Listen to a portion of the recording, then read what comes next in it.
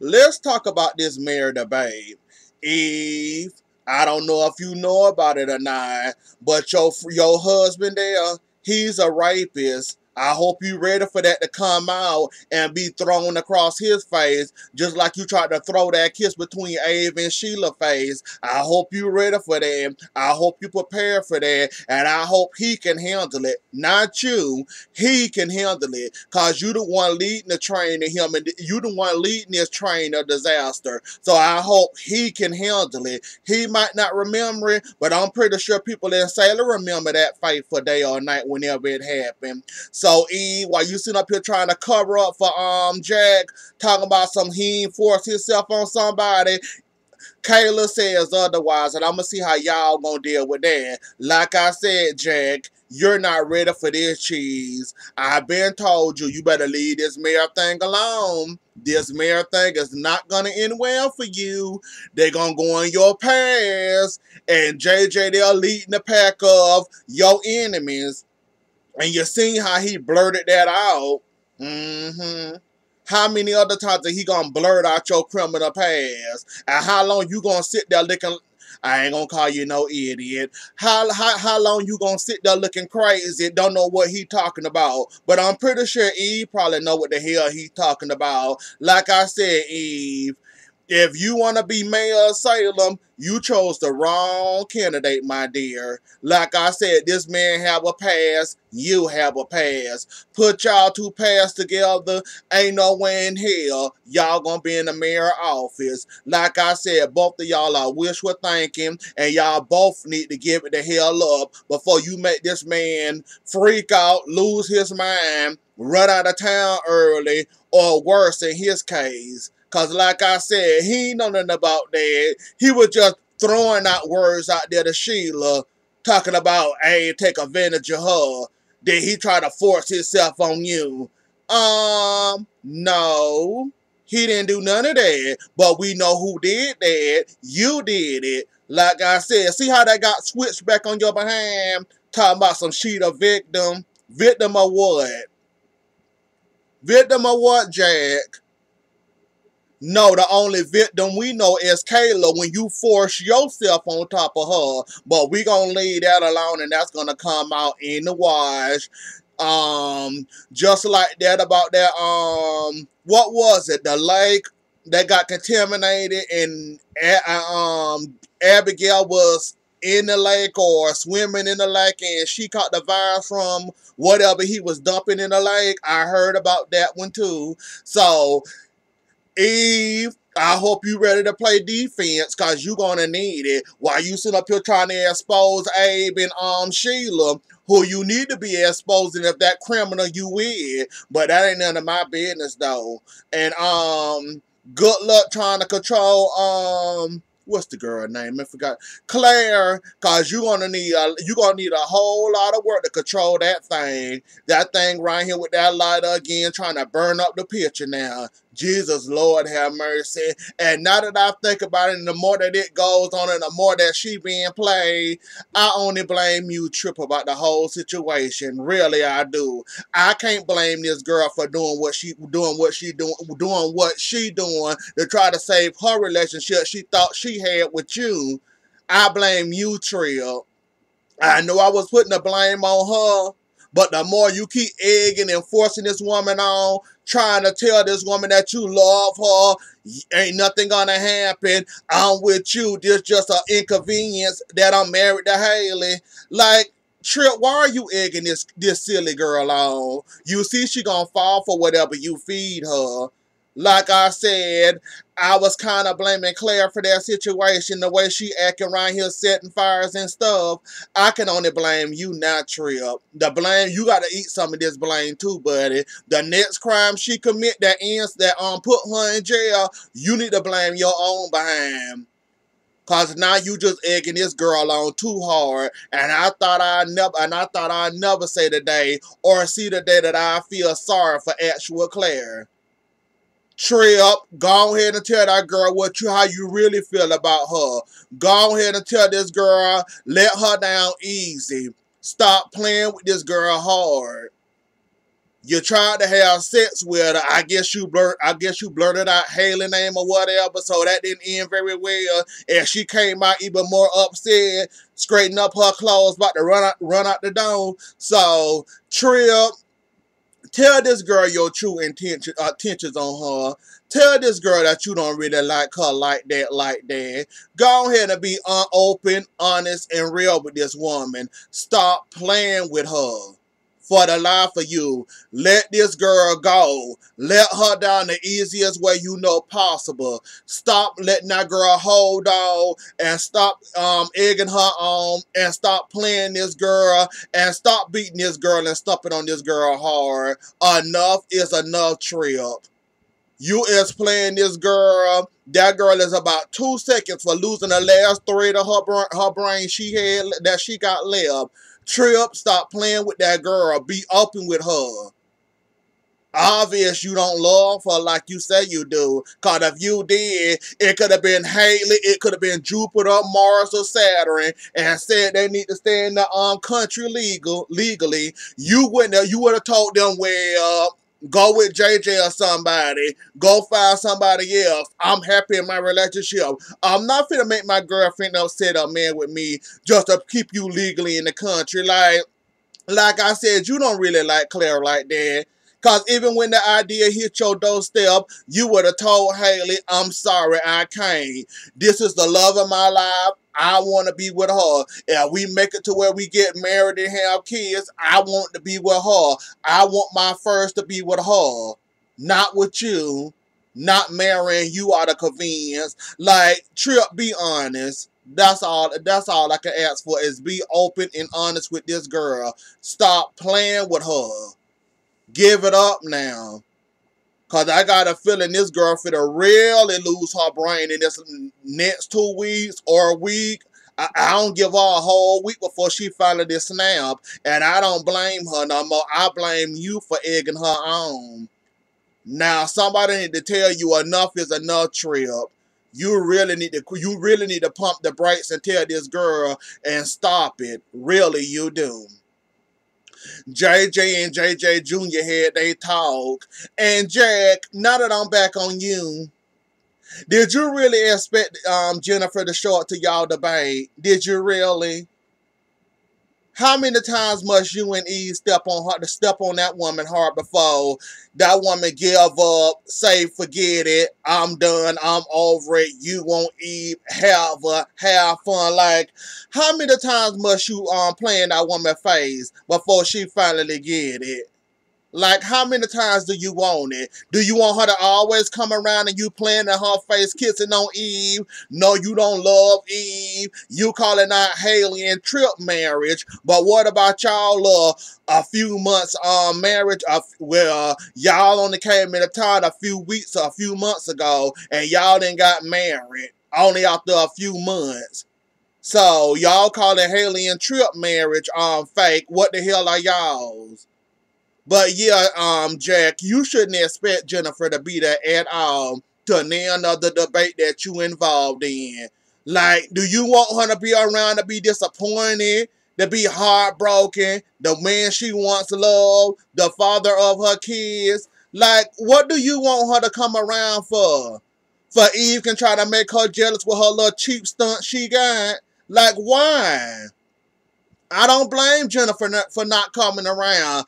I don't blame Jennifer for um doing what she got to do, or better yet, finding something else better to do with her time than to sit around you and watch you and Eve sit there with all that PDA like y'all done been the, um in love for forever. Y'all finally done got married and y'all been settled down for 10, 20 plus years. Don't nobody want to see that man, especially not no ex-wife that never worked out for y'all. Don't nobody want to see that. Like, you shouldn't much open um Jennifer um you shouldn't much missing Jennifer name and um is Jennifer coming? Hell no, she ain't coming. Why should she? Why should she appease you? Watch Eve make an ass out of herself, trying to make her jealous, kissing all over you, knowing don't now that now one of y'all don't love each other the way y'all say y'all love each other. I was about to say something else, but I had to switch it around. But yeah, Eve, I mean, but yeah, Jack, you really need to get over it. And Valerie, you came tooting back to town. What that was Thursday, Friday. I'm behind Tuesday. I think Tuesday, Wednesday, Thursday. No, Wednesday, Thursday, and Friday. You came tooting back into town Tuesday, I think it was, Wednesday-ish. Whichever day that was, I think it was Tuesday, you came back bopping into town. Miss Thing, don't nobody feel sorry for you neither. Like, that job was so important in D.C. that you had to leave Abe. You and Abe was doing fine and dandy. And unfortunately for you, you had to find out that your man was kissing another woman. Don't nobody feel sorry for you, Valerie. Go on back to D.C. where you belong. That job was so important to you. You couldn't give up the opportunity. You needed in D.C. So go on back to D.C. And now all of a sudden you mad. Oh, what? I would never kiss another woman. Girl, if you don't go on back to DC, don't nobody feel sorry for you, Miss Thing. You left your man for your job. Do that man put to sit around and wait on you, or you thought you was that special that he was gonna be open and faithful to you, and his heart only belongs to you and nobody else? Did you really think that man was gonna enjoy the calls and the FaceTimes and all that? That man too old for all that FaceTime and calling on the phone to talk to you when you're available with your busy schedule. Like, you ain't have to take that job. You could have stayed your behind in Salem. Valerie, don't nobody feel sorry for you, baby. Don't nobody feel sorry for I know I ain't got nothing for you. I saw you the, the crying and complaining. I fast forward you so quick and in a hurry. Don't nobody feel sorry for you, Mincy. You chose your job over your man you wanted that you was trying so hard to get. That job popped up and you went a running. Valerie, go find you another man or something go entertain yourself. Cause don't nobody feel sorry for you. You let a job come between y'all. And Jack, you were so quickly to expose that picture, that innocent picture I may add. Um, you didn't win. JJ ended up busting you in the face, you and Eve. Why Abe and Sheila was a topic of the main conversation that quickly turned into Jack and Jack and what his past is and what he did in his past. So who wins? You or Abe? Cause for them looks of it, you don't win. And now and now you realize that oh shoot, I might then messed up. I might then messed up going for this mayor whole thing. Keep on letting Eve pull your pull your strings. She gonna pull the right string and the right record gonna get popped out. So keep on letting Eve pull your string. Keep keep right on letting her do it. Come on. Keep on letting her do it. Come on, keep on putting your arm up every time she put that screen. Every time she pulled that screen, keep on lifting your arm up. Keep it up. Keep it up, Jack. Keep on following behind Eve. Eve don't mean you no types of good. When you figure that out, you will understand why your son, Abigail, Jennifer, and everybody else in town, even Abe was trying to warn you of that thing you well that thing that you are um, married to. So you keep right on letting Eve pull your screens and you keep on responding cause she hitting the screens and you supposed to talk every screen she hit. Keep right on. Mm-hmm. It's only looking bad and worse for you, Jack. Uh, like I said, I hope you can recover and I hope you can pick yourself up for whatever hole he throw you down and however that fall happen. I hope you able to pick yourself up and recover because you're going to need it, buddy. With your arrest record and that arrest record, who going to trust y'all to in office? Hell, by the default, Abe gonna end up winning anyways, cause I I see it ending bad for you, Jack. I somewhat feel sorry for you, but not really. But at this point, you want to talk about taking advantage, um, forcing themselves on people. Your antics this week has really made me say, you know what? Whatever happened, just gonna end up happening. You better learn to use your common sense, Jack. If even if you go, even if you don't got none, you better go find you some common sense and realize who who um and realize um who this race is. Uh, well, not this race. Who this is more important to, you or her? You better ask these questions, Jack, because I promise you it's not to end well for you. Keep on letting E pull your string, I guess. Moving right along. Um, T-Balls and, and um, Abe y'all fit to start dating. It's obvious. Abe and Valerie been having problems. They broke up. They hugging. Sheila feel bad cause that came out during the male debate. They hugging. Abe saying all the right words. She falling for him. Abe and Sheila for the end up dating him. I guess Abe can bring. I mean, I guess T-Balls can bring um Abe a little a, a little bit of style. Hell, she got to win tennis shoes, so she might can you know make him seem hip again at his age. I guess. What's the worst could happen besides her trying to steal out? Well, she reformed, so well she allegedly reformed, so Abe, take the risk if you want to. I ain't here to tell you what you can and can't do. If you falling for T-balls, go right on ahead with it. I wish you the best. Hell, she don't want being a constant in your life since Val done gone, so you might as well go ahead. Hell, she started as an employee to your lover. That's gonna be a story. That's gonna be a story to tell. But have fun, T-balls and Abe. Eli, Lani, Rafe, Eli, Lani, Rafe, Valerie, Hope, Rafe, involving what's the baby? David. That whole situation. Um, Lani, I thought this baby was gonna be a good good idea for you. You know, like the um that help you comfort over having being around another child. Like that can be like comforting for you or whatever. Yeah, you taking it over the over the edge, baby girl, and you might want to pump the brakes. Now you talking about some you now you talking about you want to lead the force and all this, and Eli still going around here snitching on you to your mama. Now it was the Abe nice to your mama about you getting too close to the baby. You kind of is giving the baby too much of your time. Time. And when you was talking to Miss Immigration Lady, you talking about my baby and he my uh, he my priority. Yeah, you sounded like a. Mm, line this is becoming horrible. I was hoping it was gonna be therapeutic for you or whatever, but yeah, you getting too attached. Mm -mm. You getting too attached, baby. It's time to back away it's time to spend maybe an hour with that baby every once in a while or whatever. I hope this don't come back to make you miss your child or make you break down and be in the like I was hoping this was gonna be good for you which when it all said and done, I hope this still be good for you and end up therapeutic for you or whatever. But yeah, as of now, um, Lani, you getting too close to that baby, and I'm gonna need for you to step it on back a little bit. Um. I already talked about the immigration thing. I already talked about EJJ.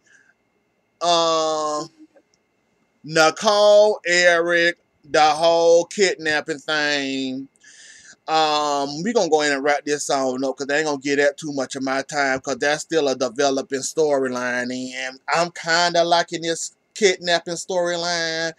Um I'm kind of, I guess, liking that Xander actually somebody boss and he get to boss somebody around. It's just like this kidnapping storyline I can't get enough of. Now, as for Gabi and this Bachelorette storyline and her and Chloe, they can go to hell with that when I don't care about the three love.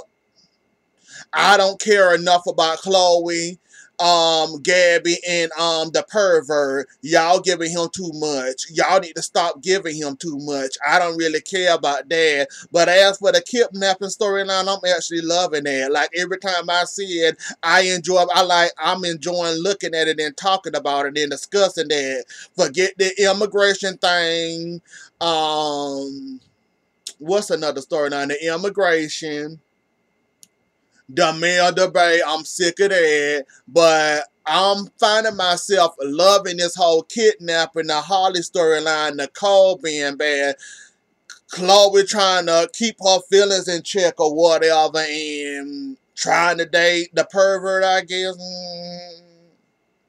But let's go ahead and get it. I actually did like that talk that um Brady and Nicole had. That was a long time coming, and I was wondering how they were gonna make that come full circle with Brady and Eric and now Nicole back and her daughter gone. I was wondering how they was gonna turn that into a full circle, but they ended up turning it into a full circle, and um I'm surprised and shocked that Nicole actually accepted his apology so easily, and he willing to help him participate and to help him bring back Holly, and she actually accepted, and that she's so forgiving of Air, I mean Brady, even though Brady was the um reason that she left town, all this happened, how she almost died and all this and all that. So I'm surprised and shocked that she actually forgave him so easily and that she didn't give him no pullback. She didn't tell him, no, let me think about it. You know, you might have was mad. I, I don't blame you for being mad. I was kind of going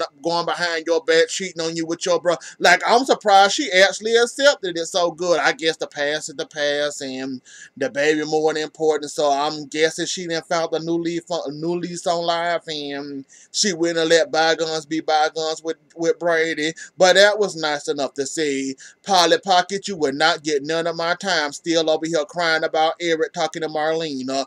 Goodbye. None whatsoever. You better go stay with Reds. That's where you better stay at. Stay with your heart at in that rain gate. That's what you do. I ain't stunning you, Missy.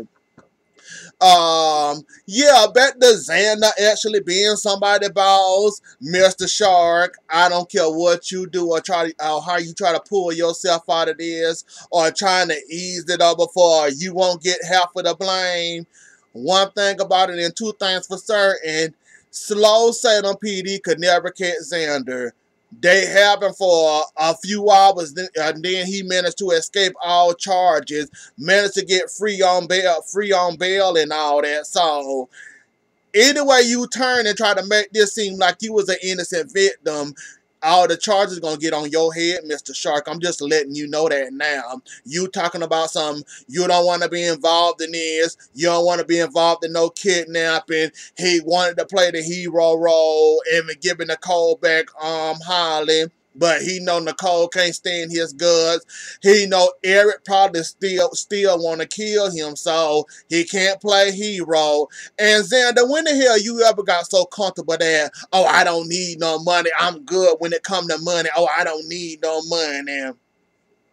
For the last couple of months and years, we've been seeing you behind. You've been begging for Victor attention. You've been wanting to be a part of the family. You've been wanting to um be a part of Titan. Not not all of a sudden you didn't got your new um leadership in a new role, and now all of a sudden money ain't a thing, and you all of a sudden, and now all of a sudden you don't need no money. I know I ain't hear that right. Xander turning down some money. Boy, for you to be Mr. Shark Balls, you mm, somebody must have put a landfall in your pocket or somewhere. Cause I ain't never seen the day. I I ain't never. Well, I ain't never thought I'd see the day that Xander the Thirsty will ever will, will ever turn down a buck or a quarter or some jewelry or something that he could turn into some money. I never thought I'd see the day. Whatever job you got being Mr. Shark Boss, Go ahead, Xander, I guess. I guess you finally got what you was looking for. Hell, Victor would never give it to you, so I guess you found it someplace else, or you found comfort in somebody else, or somebody was a damn fool for making you being somebody boss. Excuse me, but they was. So, I don't care how you try to clean this up, Mr. Shark. This is gonna come back to bite you in, and you know what. And don't say you know who's, cause it's gonna come back to bite you. And Xander always, always managed to escape slow Salem PD, even when they do get him arrested and they have charges on him. You saw what happened the last time. He snuck right into the mayor's office, and all that evidence they had on him went poof be gone. So, Mr. Sharp, what you think gonna happen to you?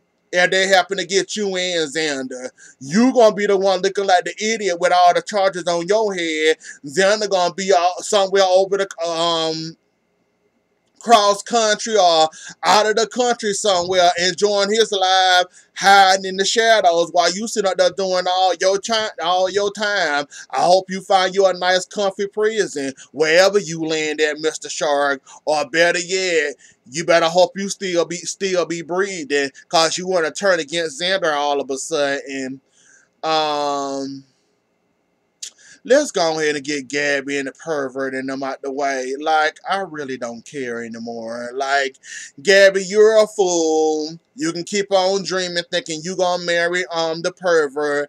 You gonna get all his stuff. You gonna divorce him and all the the, the mirror the mirror, the mansion, and all that just gonna fall in your lap. You think you you are fool if you think for one second that you gonna do what Brady did to um to Eve. You are fool. Brady told you to leave it alone, but I see you like giving your body to people you so called can't stand. You hate their guts. You want your revenge, but you willing to give up your good by by God. Oh, excuse me. Bye, Gabi. Like I ain't got enough time for you. Every time I see you come across my screen, I roll my eyes and don't pay you no types of attention. Like, how much revenge do you want? Like, when is your revenge gonna be over and tired and done with you? Never ever really? Oh, okay. Well, I don't care. I don't care enough then. Anyways, though, y'all, that was y'all weekend. Well, the week roundup off of Wednesday yeah, Wednesday. It was Wednesday, Thursday, and Friday. So that was y'all weekend roundup. The three episodes that I'm in. So I think it was Tuesday too. Anyways, though, y'all, I see y'all later. See y'all Monday. Um, don't forget to like, share, comment, and subscribe. I see y'all later, and hope y'all enjoying y'all Saturday. Bye.